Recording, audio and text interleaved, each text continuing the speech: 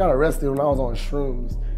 Oh man, like literally it was crazy, bro. Oh, I'm like they're telling me to write my name. I'm looking at them like, what? I'm like, I'm really in jail right now.